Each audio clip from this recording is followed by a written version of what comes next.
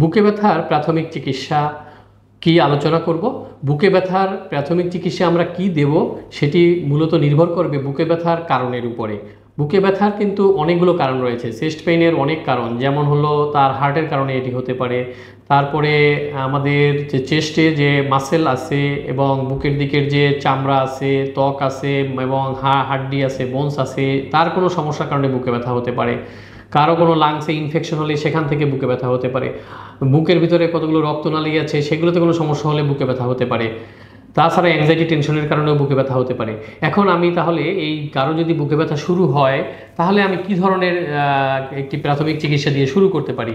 এখন বুকে দেখা গেছে যে কমন যে চেস্ট পেনের কারণ, তার মধ্যে হার্টের সমস্যার কারণে হতে পারে, অথবা গ্যাস্ট্রিকের সমস্যার কারণে হতে পারে, এবং আরেকটি কমন কারণ হলো বুকের যে মাসেল আছে মাসেল পেইন এখান থেকে হতে পারে অথবা নার্ভ রিলেটেড কোনো পেইনও হতে পারে।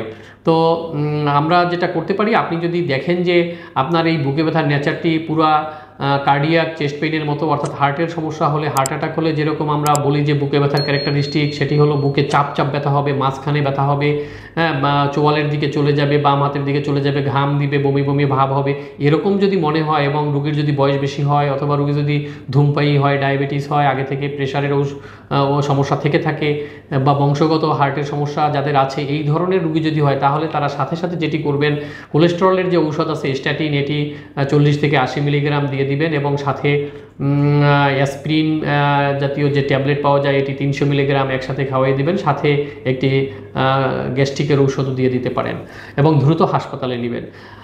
আর যদি মনে হয় যে তার এই বুকে ব্যথাটি এরকম নেচারের না, বরং একটু পেটের দিকে গ্যাস হচ্ছে, পেটের দিকেও ব্যথাটা যাচ্ছে, পেটে, পেট একটু ভারী ভারী তাহলে মনে করতে হবে, বা আগে আপনি হয়তো কোনো খাবার খেয়েছেন, যে খাবারগুলো থেকে মনে হচ্ছে যে একটু ডাইজেশনের প্রবলেম হয়েছে, তাহলে মনে করতে হবে যে এটি গ্যাস্ট্রিকের ব্যথাও হতে পারে। তো গ্যাস্ট্রিকের ব্যথা হলে আপনি প্রাথমিক চিকিৎসা হিসাবে একটু লিকুইড অ্যান্টাসিড আপনি দুই থেকে তিন চামচ খাবেন। আবার আপনি তিন চার ঘণ্টা গ্যাপ দিয়ে আরেকবার খেতে পারেন, সাথে গ্যাস্ট্রিকের ঔষধ খেতে পারেন।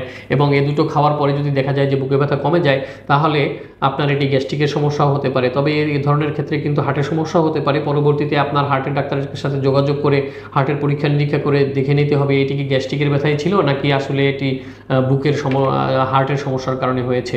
আবার অনেকের দেখা যায় যে একটু বেন্ডিংয়ের কারণে অথবা পোস্টার যে মা, যারা ঘাড় নুয়ে নুয়ে কাজ করেন বা এই ধরনের অ্যাবনর্মাল পোস্টারের কারণে অথবা কোনো একটা বেন্ডিংয়ের কারণে দেখা যায় যে বুকের মাসেল একটু টর্ন হয়ে যায় স্প্রেইন হয়ে যায় অথবা ঘাড়ের সমস্যার কারণে, একটু নার্ভের সমস্যা হয় সেগুলোর কারণে একটা রেডিয়েশনের পেইন বুকে আসে। এই যে মাস্কুলো স্কেলিটাল পেইন, মাসেল পেইন, এটির কারণে অনেকে বুকে ব্যথায় ভুগে থাকেন এবং অনেক বিপুল সংখ্যক মানুষ এই এই সে ভুগে থাকেন।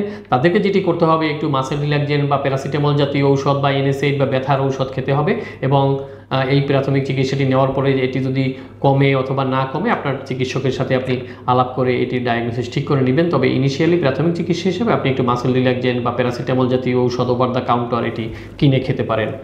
তারপরে আপনি যদি দেখেন যে আপনার অনেক বেশি টেনশন বা মানসিক চাপ যাচ্ছে, ঘুম হচ্ছে না, অনেক বেশি চাপের মধ্যে আছেন টেনশন হয়, বুক ধরফর করে এবং একই সাথে বুকে ব্যথা হয়, তাহলে আপনি মনে করতে পারেন যে এই বুকে ব্যথাটি সাইকোলজিক্যাল বা মানসিক চাপের কারণে হচ্ছে।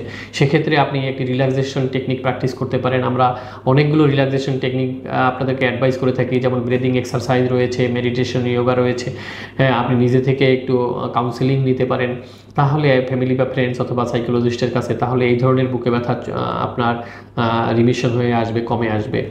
এছাড়া অন্য কিছু কারণ রয়েছে যেমন অনেকের গলব্লাডারে যদি পাথর হয়, সেই ব্যথাটাও অনেক সময় বুকের দিকে চলে আসতে পারে, পেটের উপরের দিকে বুকে আসতে পারে। সেক্ষেত্রে আসলে তীব্র বুকে ব্যথা হবে, বমি হবে এবং পেটের দিকে ব্যথা হবে। সেক্ষেত্রে আপনার আলট্রাসোনোগ্রাম বা অন্যান্য পরীক্ষা করে তারপরে নিশ্চিত হয়ে সেটির চিকিৎসা নিতে হবে এবং অনেক সময় মেডিসিন দিয়ে এটি কন্ট্রোল করা যায়। মেডিসিন ছাড়া অনেক সময় যখন মেডিসিনে কন্ট্রোল না হয় না, তখন তাকে সার্জিক্যাল ট্রিটমেন্টেও নিতে হয়। এছাড়া হার্টের চারপাশে এবং লাংসের ওখানে কিছু রক্তনালী আছে যেগুলোতে ব্লাড ক্লট জমা হলে সেখান সেখান থেকে বুকে ব্যথা হতে পারে। সেটি কোনো প্রাথমিক চিকিৎসা দিয়ে ভালো করা যাবে না। তবে আপনাকে হসপিটালে গিয়ে চিকিৎসকের অধীনে থেকে এর চিকিৎসা করতে হবে। অনেক সময় কারও ঠান্ডা কাশি থেকে, লাংসের কোনো ঠান্ডা কাশি থেকেও বুকে ব্যথা হতে পারে, সেক্ষেত্রে কাশির চিকিৎসা করতে হবে। আবার কারও দেখা যায় যে লাংসের কোনো ইনফেকশন হলো নিউমোনিয়া হলো, সেই ইনফেকশনের কারণে লাংসের কাভারিংয়ে একটি ইনফ্লামেশন হয়, সেখান থেকে বুকে ব্যথা হতে পারে। শ্বাস নেওয়ার ওঠানামার শ্বাস সারা শ্বাস নেওয়া ব্রিদিংয়ের সাথে এই বুকে ব্যথা বাড়ে বা কমে এবং তখন এই বুকে ব্যথার চিকিৎসার জন্য আপনার লাংসের ইনফেকশনের চিকিৎসাটি করতে হবে। তাহলে আপনি সবগুলো বুকে ব্যথার জন্য একটি চিকিৎসা, একটি প্রাথমিক চিকিৎসা যে নিতে পারবেন তা কিন্তু নয়। আপনার একটু টুকটাক যদি ধারণা থাকে, তাহলে সেই অনুযায়ী আপনি একটি প্রাথমিক চিকিৎসা নিতে পারবেন, যেটা আমি আলোচনা করে দিয়েছি। আর যদি দেখেন যে না, আপনার মিলছে না বা আপনি এটি বুঝতে পারছেন না, সেক্ষেত্রে উচিত হবে আপনার নিকটস্থ ডাক্তারের সাথে দ্রুত যোগাযোগ করা অথবা কাছাকাছি কোনো হাসপাতালে দ্রুত চলে যাওয়া। ধন্যবাদ সবাইকে।